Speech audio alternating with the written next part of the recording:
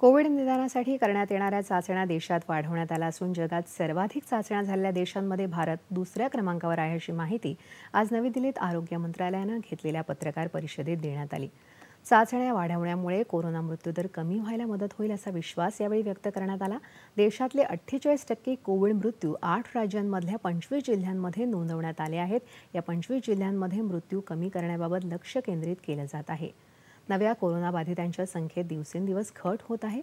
महाराष्ट्र केरळ आणि कर्नाटकमध्ये पन्नास टक्के कोविड रुग्ण असल्याचं आरोग्य मंत्रालयानं आज सांगितलं. देशात काही दिवसात कोरोनाबाधितांची वाढणारी संख्या काल मंदावली असून ती पासष्ट हजारच्या खाली आली आहे.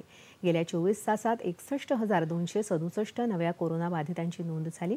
त्यामुळे एकूण कोरोनाबाधितांची संख्या सहासष्ट लाख पंच्याऐंशी हजार ब्याऐंशीवर पोहोचली आहे. मात्र त्याचवेळी छप्पन्न लाख बासष्ट हजार चारशे नव्वद कोरोनाग्रस्त रुग्ण उपचारानंतर बरे झाले आहेत. त्यामुळे देशातला कोरोनापासून मुक्त होण्याचा दर चौऱ्याऐंशी पूर्णांक सत्तर शतांश टक्क्यांवर पोहोचला आहे. केंद्रीय आरोग्य मंत्रालयानं ही माहिती दिली आहे. सध्या देशात नऊ लाख एकोणीस हजार तेवीस सक्रिय रुग्णांवर उपचार सुरू आहेत. गेल्या चोवीस तासात आठशे चौऱ्याऐंशी जणांचा कोरोनामुळे मृत्यू झाला असून एकूण बळींचा आकडा एक लाख तीन हजार पाचशे एकोणसत्तर झाला आहे.